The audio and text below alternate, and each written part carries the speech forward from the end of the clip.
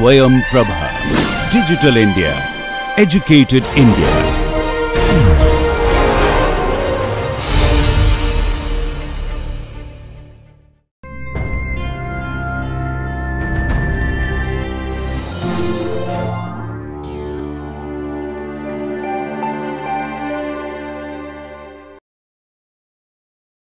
So hello and welcome to this NPTEL course entitled 20th Century Fiction where we're looking at James Joyce's novel Ulysses.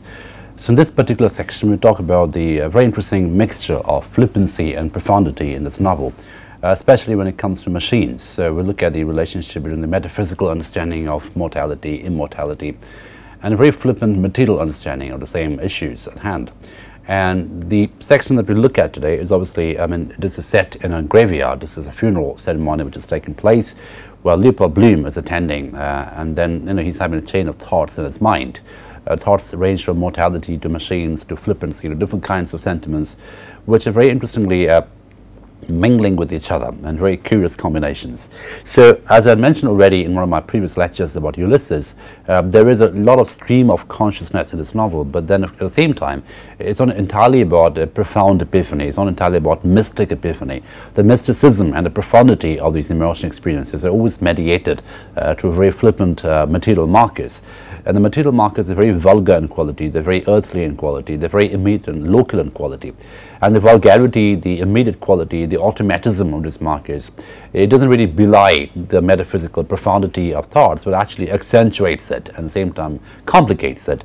So how does how do you human beings, we human beings, think in terms of our negotiation with machines? Uh, how can machines help us uh, not to bring us down, not to reduce us into uh, different forms, but also to accentuate us as human beings. Uh, so this whole engagement with machines becomes a very important uh, issue in modernism in particular. Right, if you take a look at, I mean, we have already talked about Eliot's Wasteland and also some of his early poetry. We've seen already how machines uh, become a very recursive feature uh, in those kinds of poems, where the entire idea about consciousness, memory, thought processes, they become mediated and marked by machines. And the marking of machines become very, very important. And in this section, we'll find out you know, exactly how Joyce does in this novels. We have things about, we have uh, sentiments about mortality, immortality, uh, you know, the fact that everyone's going to die, uh, imminent death in Dublin, and then all these uh, sort of mix together and they inform different kinds of other sentiments through certain machinic markers. The gramophone being a very interesting metaphor of machines over here.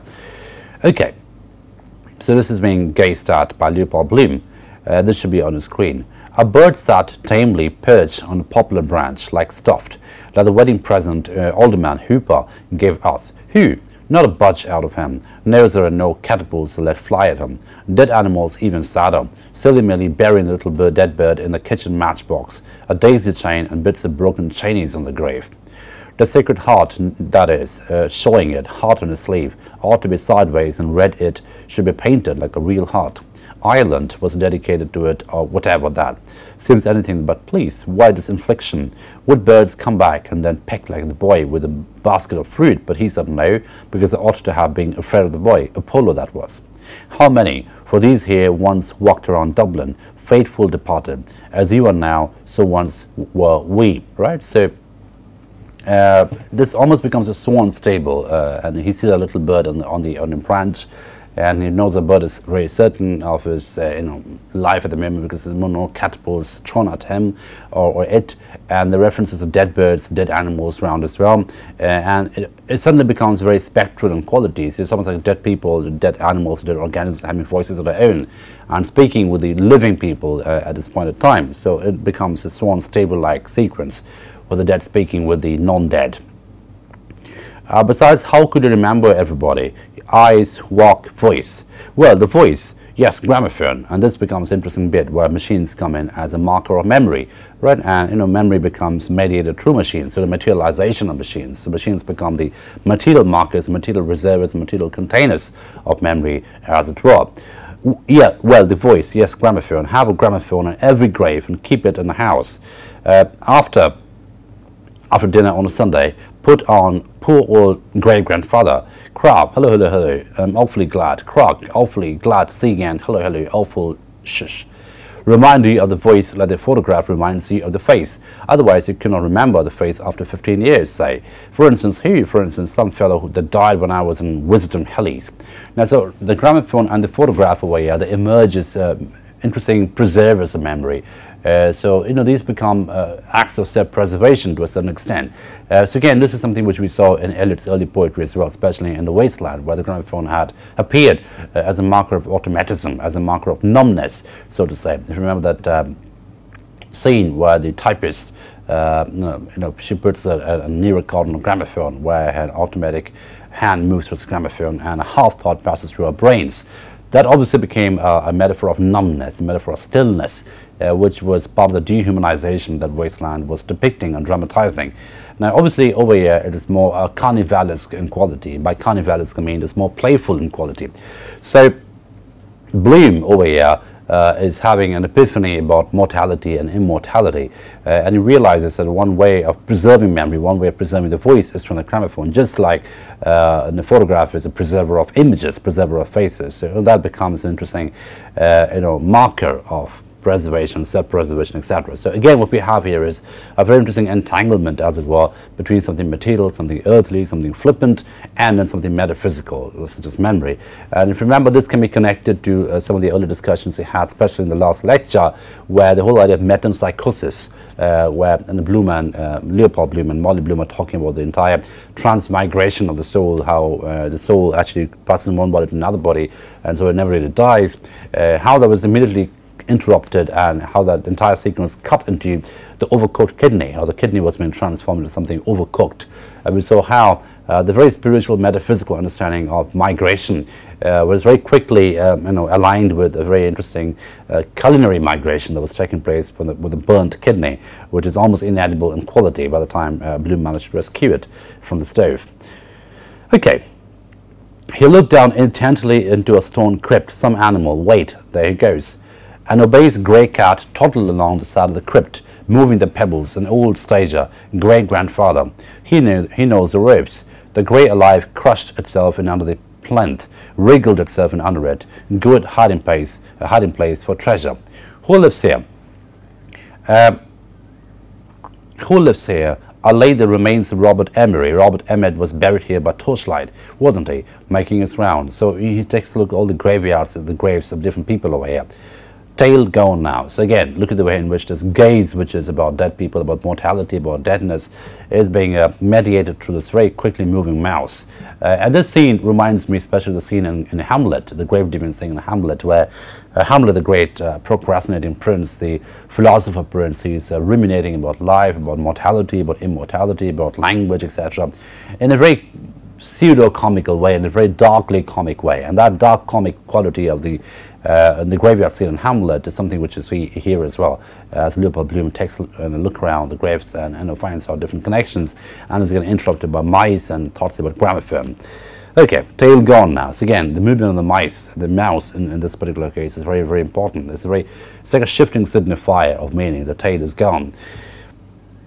One of those chaps would make short walk of a fellow pick the bones clean no matter who it was. Ordinary meat for them. A corpse's meat gone bad. So again, uh, this very vulgar and corporeal understanding of uh, the human dead body is interesting over here because on the one hand we have this entire discussion about metempsychosis, about the transmigration of souls. Our souls shift from one position to another position. And on the other hand, we have a description of a corpse, the dead body is meat gone bad. So uh, there's this cannibalistic quality about memory which is being projected over here. So this cannibalism in uh, the thought processes is something which uh, is uh, being talked about. But it becomes something more relevant and something more important as we'll see in a, in a moment. A corpse's meat gone bad. Well, and what's cheese? Corpse milk. Uh, so again, cheese is something which is seen as a, you know, a marker of nourishment and, and, delicacy and taste and human consumption is again connected with rottenness. So rottenness is uh, very much an embedded condition in most human interaction, most human consumption. That's something which is being uh, projected over here. Right, so a corpse, a dead body is meat gone bad. Uh, cheese is corpse milk, is milk gone bad, etc. I read in the Voyages in China that the Chinese say a white man smells like a corpse uh, cremation better, Priests are dead against it, deviling for the other firm. Wholesale burners, the Dutch oven dealers, time of the plague. Uh, so again, the whole idea of cremation becomes uh, interesting because uh, you know we have the on the hand the priests are against it, the Catholic priests are against uh, cremation. They are they obviously they advocate burial, and then suddenly we're cut into we, we cut into this whole idea the whole com commerce behind cremation. Uh, the Dutch oven dealers, uh, wholesale burners and Dutch oven dealers. time of the plague quicklime fever pits to eat them, lethal chamber, ashes to ashes, or bury at sea, where is the Parsee tower of silence, eaten by birds, earth, fire, water. So we have different kinds of uh, images of mortality over here, images of deadness over here, and reference to the Parsi, uh, Parsi tradition or the Zoroastrian tradition of keeping the dead bodies at a tower where birds come and peck at them. That is also being referred to over here. So we have different kinds of almost uh, carnivalesque uh, description about deadness, about dead bodies, which has obviously been done in a way to talk about mortality in a pseudo-comic a pseudo-philosophical way. Right eaten by birds, earth, fire, water. Drowning, they say, is the pleasantest. See your whole life in a flash. But being brought back to life, no. Can't bury in the air, however, out of a flying machine. Wonder does the news go about whenever a fresh one is let down? Underground communication. We learn that from them. Wouldn't be surprised. Regular squire feed for them. Flies come before uh, he's well dead. Got wind of Dignam. They couldn't care about. They wouldn't care about the smell of it. Salt white crumbling mush of cops. Smell tastes like raw white turnips. So again, I mean, look at the constant mingling of the edible and the inedible between the positive and the negative, uh, between uh, the pleasant and the unpleasant, and mortality and immortality have been talked about in very flippant terms across the stream of consciousness, random thoughts, processes, um, associating one with each other the whole idea of uh, you know dying and, and, and, then wind, the whole idea of being eaten by birds, the whole idea of uh, the crumbling mush of corpse, which is also smelling, it has a salt white appearance, etc. And it tastes like raw white turnips. So you know a corpse tastes like raw white turnips. The gates glimmered in front, still open, back to the world again. So uh, back to the world again obviously becomes a message of liminality, right? So the whole idea of uh, shifting between the reverie world and the real world is something which happens uh, across the novel Ulysses. So that's something which we must never lose sight of. The whole uh, the transitions between the lived world, the, the experienced world, and the uh, the imagined world, the reverie world, the dream world. Okay. Back to the world again. Enough of this place. Bring you a bit nearer every time. Last time I was here was uh, Mr. Sinico's funeral. Poor Papa too, the, the, love that kills, and even scrapping of the earth at night with a lantern, like that case I read of uh, two grave, gravestones, give you uh, the creeps after a bit. I will appear to you after death. You will see my ghost after death. My ghost will haunt you after death. There's another world after death named hell. I don't like the other world, she wrote. No more, no more do I. Plenty to see and hear and feel yet uh, feel live, um, know, feel live warm beings near you. Let them sleep in their maggoty beds. They're not going to get, get me in this innings. Warm beds, warm, full-blooded life. So the whole uh, passageway becomes an affirmation and an, uh, a demand uh, uh, to, to occupy life, to inhabit life, to experience life, to get away from any metaphysical understanding post-life. So the whole idea of post-life, what happens after life, do we go to hell, etc. Those thoughts are being sidelined in favor of the immediate reality, the immediate lived reality, which is the embodied reality, the reality available to us through our senses, through our embodied engagements, uh, through our affective engagements with the world around. And that affective embodied quality is something which is constantly foregrounded, and hence a very sensuous quality about the narrative, which was also a shock uh, given the time in which it was written. Okay, uh, Martin Cunningham emerged from a side path talking gravely. Solicitor, I think, uh, I know this, I know his face. Menton, John Henry, solicitor, commissioner for oaths and affidavits. Dignam used to be in this office. Matt Dillon's long ago. Jolly Matt, uh, convivial uh, evenings, cool fowl, cigars, uh, tantalus glasses, of gold really. Yes, Menton got his rag out in the evening of the bowling green because I sailed inside him. Pure fluke in mine, the bias, why took such a roasted dislike to me, hate at first sight. Molly and Floey Dillon linked under the uh, tree, laughing. Fellow always like that, mortified if women are by. Okay, got a dinge in the side of his heart, carriage properly. Excuse me, sir, Mr. Bloom said beside him. They stopped. Your hat is a little crushed, Mr. Bloom is pointing. John Henry Menton stared at him for an instant without moving. There, Martin Cunningham held, pointing also, John Henry Menton took off his hat, bulged out a dinge and smoothed the cap, the nap, with care on his coat sleeve. He, he clapped the hat on his head again. It's all right now, Martin, John Martin, Martin Cunningham said. John Henry Menton jerked his head down in acknowledgement. Thank you, he said shortly. They walked on towards gates. Mr. Bloom, chapfallen, drew behind a few paces uh, so as not to overhear.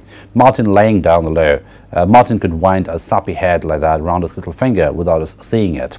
Oyster Oysterize, never mind. Be sorry after perhaps when it dawns on him. Get a pull over him over him that, that way. Thank you, how grand we are this morning.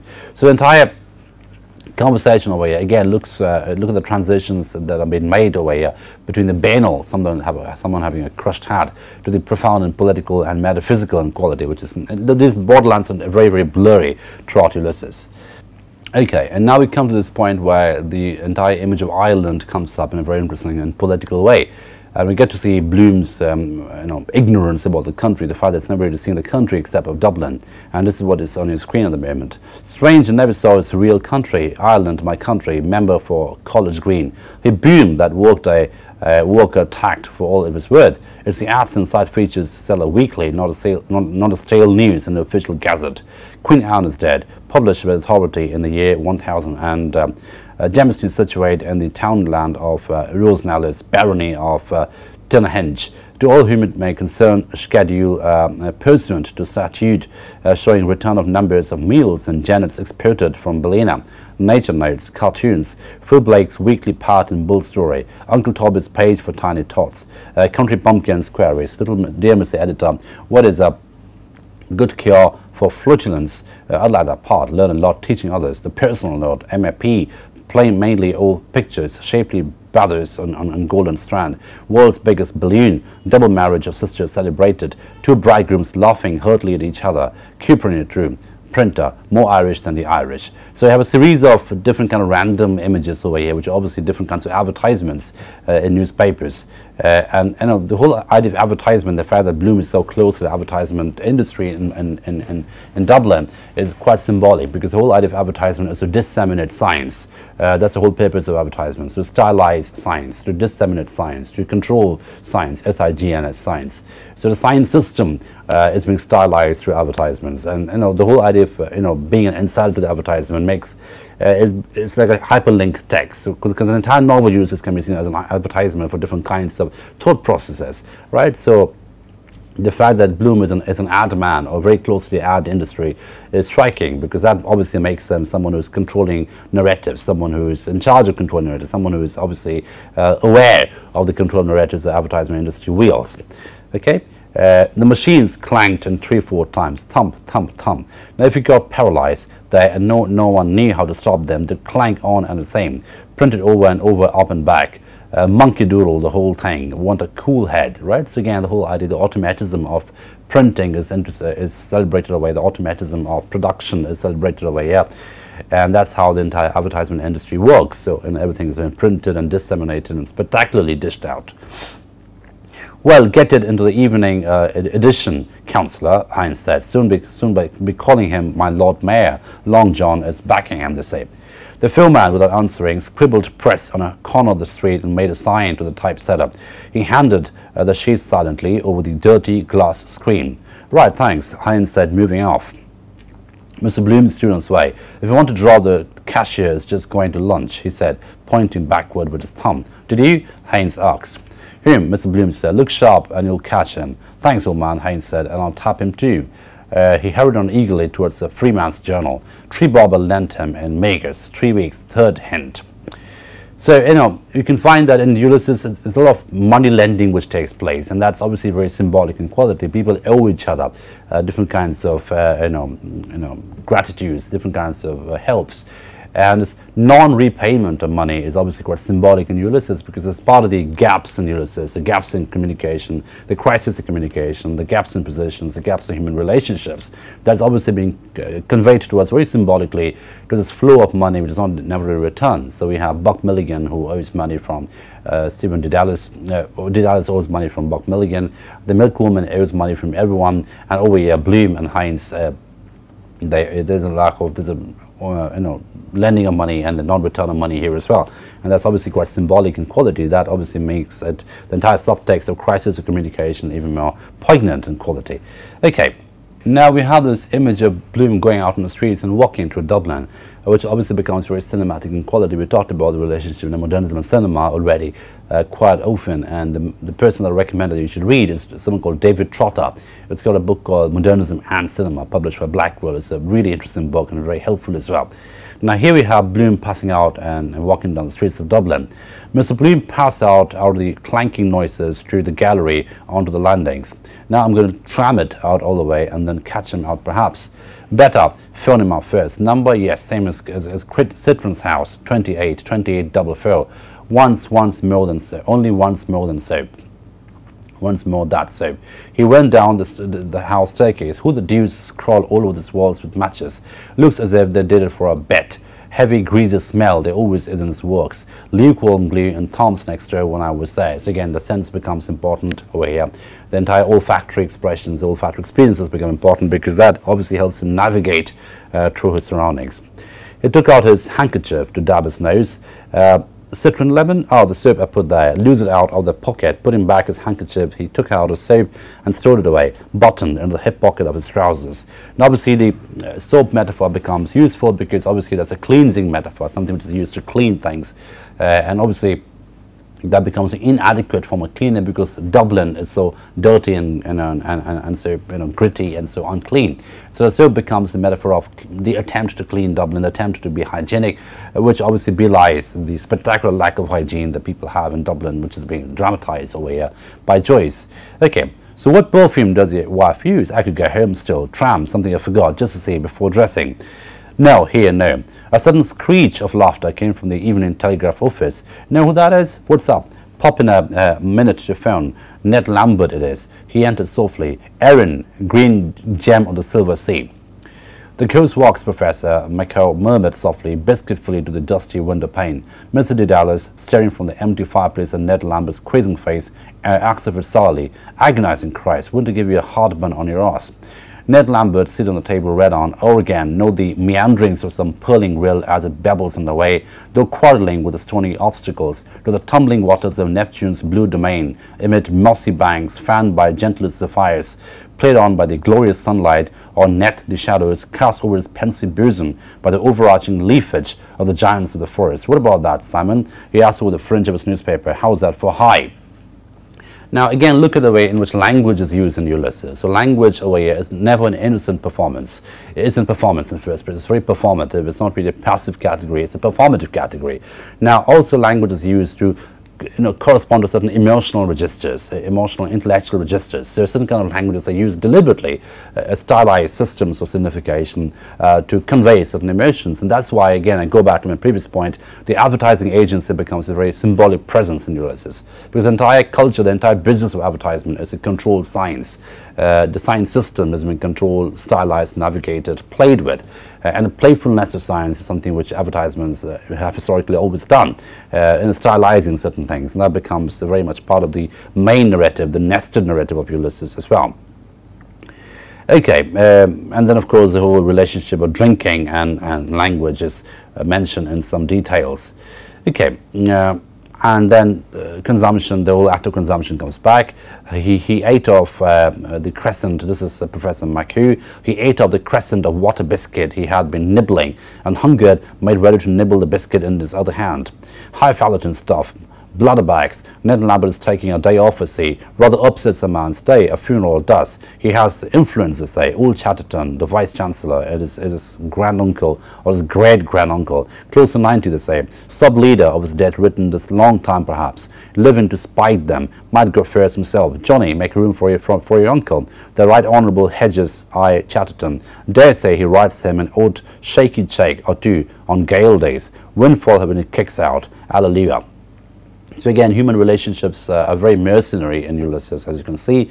Uh, so the whole idea this very influential great grand uncle uh, is being parodied over here and there's a wait for a windfall to happen when he uh, kicks out, when he passes out, so he passes away. Right, so the, uh, the, the, there's, a, there's a spectral quality about money, the spectral quality about uh, human beings in There's also human relationships, something shadowy, spectral, and not quite solid. And the lack of tangible uh, quality, the intangibility, as it were, the intangible quality of human relationships in Ulysses is something which is foregrounded over and over again. The entire city becomes a city of uh, spectrality, the entire city becomes a city of you know, unreal human relationships.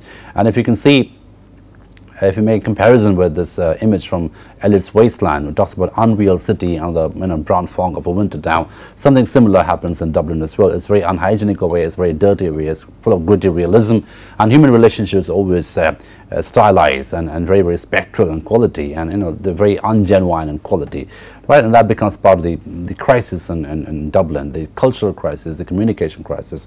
It's very much a part of the system, this crisis of communication that is the main crisis at play. Okay, and now we have again uh, the human beings' navigation through machines and movements and sounds which are mechanical in quality, and again the organic inorganic combination is something which Joyce is uh, playing up very, very subtly and complexly and this should be on the screen. The bell whirred again as it rang off. He came in quickly and bumped against uh, Lenehan, who was struggling up with a second tissue. Pardon, Monsieur, uh, you know, Lenehan said, clutching him for an instant and making a grimace. My fault, Mr. Bloom said, suffering his grip. Are you hurt? I'm in a hurry. Knee, Lenehan said. He made a comic face and whined, rubbing his knee. The accumulation of the Anno Domini.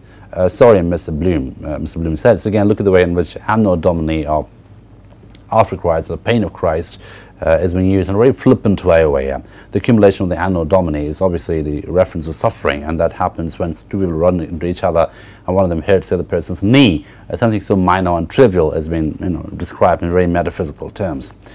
He went to the door and holding it ajar post, J.J. O'Molloy slapped the heavy pages over. The noise of two shrill voices, a mouth organ, echoed in the bare hallway from the newsboys squatted on the doorsteps. We are the boys from Wexford who fought with heart and, and, and land and hand, exit Bloom. I'm just running around to Bachelor's Walk, Mr. Bloom said, about this ad of case, want to fix it up. Uh, they tell me he's around here in Dillon's. Now if you take a look at this bit, exit Bloom, this is normally used in theatre productions when you know some it's been told to us that someone exits the scene, uh, someone who goes away from the scene, etc. Now obviously the exit Bloom away is something which Bloom tells himself in his head, and that becomes a very interesting symbol because obviously, as you've seen uh, in many occasions, uh, there's a constant uh, conversation that Bloom is having in his head, or Dedalus is having in his head, which may or may not be aligned to the conversations around him. So we have two different kinds of combinations, uh, conversations. One is the embedded conversation that characters have in their heads, and the other, of course, is the extended conversations they have with other people, other human subjects around them. And it's constant uh, commingling, as it were, between the embedded order of conversation and the extended order conversation is something which Ulysses does very, very often. So there are different focal points in the novel, which makes it such a cognitively complex novel to grasp it, because there isn't a single focal point to which the entire story unfolds. So there are multiple focal points. Even the same character can have different focal points, uh, which makes it very difficult for us to cognitively grapple with what is happening in Ulysses. Okay, right. He looked uh, indecisively for a moment at the faces. The editor, who leaned against the mantel shelf, had propped his head on his hand, suddenly stretched forth an arm amply. Begone, he said. The world is before you. Back in no time, Mr. Bloom said, hurrying out. J.J. O'Molloy, O'Molloy took the tissues from Lenehan's hand and read them, blowing them apart gently without comment. He'll get an advertisement, the professor said, staring through his uh, black-rimmed spectacles over the cross-blind. Look at the young scamps after him. Show, where? Lenehan cried, run into the window. A street cottage. Both smiled over the cross blind and the fly, file of capering newsboys in Mr. Bloom's wake, the last uh, zigzagging white on the breeze of mocking kite, a tail of white burnouts. Look at the young Guttersnipe behind him, hue and cry, uh, Lenehan said, and you'll kick all my rib risible, taking off his flat spokes and the, and the walk, small, small lines, steel upon locks. Uh, he began to mazurka and swift caricature towards the flow on sliding feet past the fireplace and J.J. O'Molloy, uh, who placed his tissues in his receiving hands. What's that? Miles Crawford said with a start. Where are the other two gone? Who? the professor said, turning. They've gone round to the Oval for a drink. Perhaps Hooper is there with Jack Hall. Come over last night. Came over last night. Come on then, Miles Crawford said. Where's my hat? He walked jerkily to, to, into the office behind, parting the vent of his jacket, jingling his keys in his back pocket, the jingle then in the air and against the wood as he locked his dress desk dryer. So you can look at the uh, movements over here. And there are very casual conversations of going to a pub and getting drunk, uh, and then of course the human movements happening uh, together. But also look at the way in which different micro sounds and micro movements take place. The jingle of a key inside a pocket. Uh, and it's very intensification of something very minor and micro It's something which is uh, done over and over again in Ulysses, which gives a sense of magnification of small things, which is quite cinematic in quality in its own way. Okay, now uh, it is a very interesting conversation, and I'll end with this point today. It's a very interesting conversation about the nature and function and the death of civilizations, which is something which saw already in Heart of Darkness when obviously Marlowe comes back and talks about how this place in London and River Thames was once too a dark place in the world, and now he's been to Congo, which is like uh, you know, prehistoric London to a certain extent. Uh, so the whole entire idea of civilization and modernism is a very complex thing. Uh, it is definitely something which is transitional in quality, something which is mutable in quality, and the acceptance of the mutability of civilization is something which is painful as well as uh, liberating on certain occasions. Now, the reference to Roman civilization was is brought up over here. Uh, you know, Imperium Romanum, J.J. O'Molloy said gently, it, it sounded nobler than British or Brixton. The word reminds of somehow, uh, somehow of fat in the fire. Miles Crawford blew his first puff violently towards the ceiling. That's it, he said. We are the fat. You and I are the fat in the fire. We haven't got a chance of a snowball in hell. The grandeur that was Rome. Wait a moment, Professor MacHugh said, rising, uh, raising to quiet close. We mustn't be led away by words, but sounds of words. We think of Rome imperial, imperious, imperative. He extended uh, elocutionary arms with, from frayed, strained shirt cuffs, posing. What was a civilization? Fast, uh, loud, but vile. Uh, Cloacae, serious, Jews in the wilderness and on the mountaintop said, It is meet, it is meet to be here. Let us build an altar to Jehovah. The Roman, like the Englishman who follows in his footsteps, brought to every new shore on which he set his foot. On our shore he never set it, only his cloacal obsession. He gazed about him in his toga and said, It is meet to be here. Let us construct a water closet. Now, obviously, this is a parody of English uh, imperialism, but it's interesting how the English imperialism is seen as a legacy, as a continuation of the Roman imperialism, how what became this white man's uh, imperial narratives, and that's something which is highlighted here. Which they accordingly did so, Lenehan said. Our old ancestral or ancient ancestors, as read in the first chapter of Genesis, were partial to the running stream. They were nature's gentlemen, J.J. O'Molloy murmured, but we ha have also Roman law. And Pontius Pilate uh, is a prophet, uh, Professor MacHugh responded. Do you know the story that Chief Baron Palles, J.J. O'Molloy, asked? It was uh, at a Royal University dinner. Everything was going swimmingly. First, my riddle, Lenehan said, are you ready? Uh, Mr. Om O'Madden Burke, uh, tall in a copious grey of Donegal tweed, came in from the hallway. Stephen Dedalus behind him, uncovered as he entered. Uh, and then, of course, asked to come in, the friends come in. Uh, you know, is being summoned by Lenehan. I escort a suppliant, Mr. O'Madden Burke said melodiously, youth led by experience visits notoriety. How did you? The editor said, holding out a hand. Come in, your governor just gone. Lenehan said to all, silence, what opera resemblance a railway line? Reflect, ponder, excogate, reply. Stephen handed over the type sheets, pointing to the style and signature. Who? The editor asked, bit torn off. Mr. Garrett Deasy, Stephen said. That old Peltar, the editor said, who tore it? Was he shot taken? Again, the reference to Garrett, Garrett, Garrett Deasy is interesting because he's the one who has a conversation with Stephen about this Jewishness and how Jewishness is obviously a mark of corruption and degeneration. If you remember one of your earlier lectures in Ulysses had that extensively. And obviously he sent someone to be published to the editor. True, Stephen. Okay, uh, hey, good day, Stephen. The, the, the professor said, coming to peer over the shoulders. Foot and mouth, are you turned? Uh, Bullock befriending Bart, a shindy in a well-known restaurant. Good day, sir, Stephen answered, blushing. The letter is not mine, but Mr. Garrett asked me to. Oh, I know him, uh, Garrett Deasy. I know him, Miles, Miles Crawford said, and I knew his wife too, the bloodiest old Tartar God ever made. By Jesus, she had a foot and mouth disease, and no mistake. The night she threw the soup in the waiter's face and the Star and Garter. Oh, a woman brought sin into the world. For Helen, the runaway wife of Menelaus, ten years agrees. O'Rourke, Prince of Breffni. Zia Widor, Stephen asks. I, a grass one, Miles Crawford said, his eye running down the typescript. Emperor's houses, Habsburg, an Irishman saved his life on ramparts of Vienna. Don't you forget, Maximilian Karl O'Donnell, Graf von uh, in Ireland, sent his heir over to make the king on Austrian field marshal now. Going to be trouble there one day. Wild geese. Oh yes, every time, don't you forget that. The moot point is that he forgot it. J.J. O'Molloy said quietly, turning a horseshoe paperweight. Saving Princess is a thank you job. Professor MacHugh turned on him, and if not, he said, I'll tell you how it is. Miles Crawford began, a Hungarian it was one day.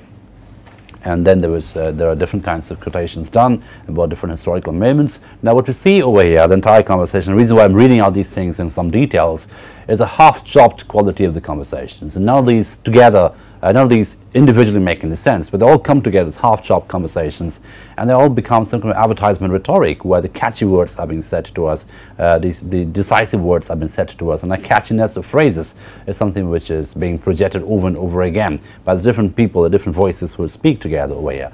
Which brings us to the original point that we talked about, that Ulysses being a very heteroglossic and polyphonic novel. There's so many different kinds of voices, spectral voices, dead voices, human voices, uh, voices from the past, voices from the present, voices looking forward to the future, and of course a gramophone, uh, the sound recorder, the machine to record sounds, become a very important metaphor of this voiced, the hyper-voice quality about Ulysses. Everything can be recorded in gramophone, which can then churn out its voices over and over again. So I stop at this point today, but I think the heteroglossia and the polyphony of Ulysses and also the carnivalesque quality of Ulysses, where, you know, different kinds of things such as death, mortality, uh, profundity, mysticism, epiphany, they're all talked about in very machinic, uh, almost flippant terms, which give a dark comic quality to this novel, is something which we must pay some attention to as we move on. So from this point onwards, we'll look at certain very selected passages in Ulysses and we'll wind up in maybe a couple of more lectures or maybe three more lectures in the times to come. So I'll stop at this point today. I'll continue with this in the next lecture. Thank you for your attention.